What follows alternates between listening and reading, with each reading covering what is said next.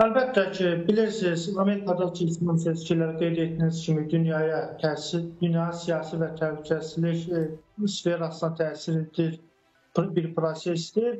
Joe Biden e, Trumpın qarşısından geri çəkilməsi əlbəttə ki, e, onların debatı oldu və o debatda çox mənfi bir performans performans e, göstərdi Joe Biden və orada artıq demokratların namizədi Joe Biden Trumpa məğlub olacağı artıq siyasi gündəmə gəldi. Publikaya artıq belə e, işləndi. Bir tərəfdən də Trumpa qarşı edilən sui-qəsd birdən-birə Trumpın e, reytinqini kifayət qədər yüksəldi. Həmçinin Joe Bidenin e, burada səhhətində qocalığı e, onun seçkilərdə məğlubiyyətə düşər olacağını da əsaslandırırdı.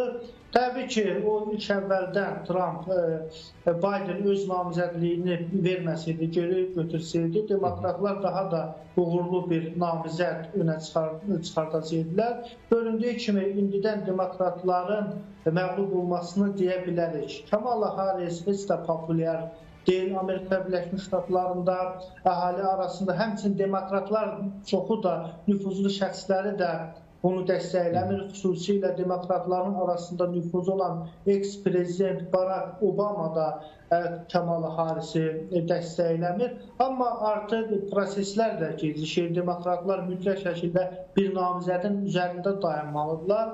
Təbii ki, Joe Bidenin burada müəyyən qədər də inadkarlığı oldu bu prosesdə. Demək olar ki, partiyasına da böyük zərbə vurdu. Trumpın bəli burada üstünlükləri var. Kamala Harrisin siyasi populyarlığı yoxdur. Amerika üçün də böyük işlər görməyib. Amma Trump prezident olub kifayət qədər populyardır. Ona qarşı sui-qəsdin həyata keçirilməsi prosesdə Amerika elektoratı ona daha çox üstünlük verə bilər. Məhəmməd bəy, bir maraqlı məqam var. Namizədlər olsa da, amma Amerika Birləşmiş Ştatları tarixində heç bir xanım namizəd Amerika Birləşmiş Ştatları prezidenti olmayıb. Əgər Kamala Harris namizəd olarsa, bu zəncir burada qırıla bilərmi? Nə düşünürsünüz? Yəni bu ilk Əlbəttə, baş verə bilərmi? Əlbəttə, Birləşmiş Ştatlarında Bəli, Amerika tarixində ilk namizəddir. Bir xanımın e, prezidentliyə namizədi. Həmçinin o miqrantdır, Hindistanlı e, Hindistan e, kökənlidir və onun əlbəttə ki, prezident olması e, Amerika tarixində ilk olacaq və əlbəttə ki, dediyiniz kimi bir zənciri qıracaq.